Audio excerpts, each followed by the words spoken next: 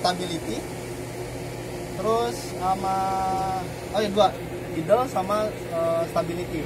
Ketika itu sedang hitungnya oke tegangan tegangan kebaca udah oke frekuensi udah oke baru kalau bapak mau masukin secara manual tegal tombol ini tegal Close. ya close. GCB ada tulisan di sini close close GCB ya pak. Jadi pindahinnya mode atas enter setelah manual bapak start setelah genset running tidak ada lagi timer yang menghitung baru bisa di close.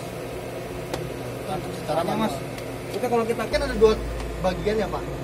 Bagian modul sama bagian full manual. Kalau saya bilang ini full manual.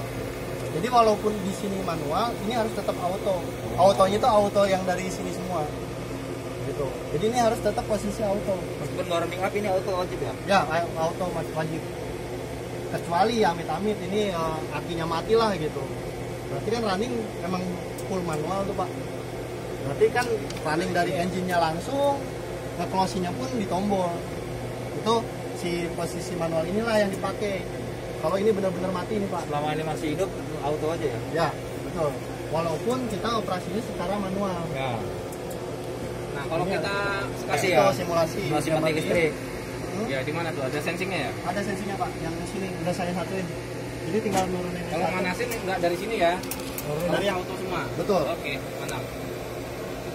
itu kalau ngangetin bener-bener ya sekalian ngetes sistem lah gitu Iya. Oke. Mau per sekali. Iya. enter kalah enter tinggal start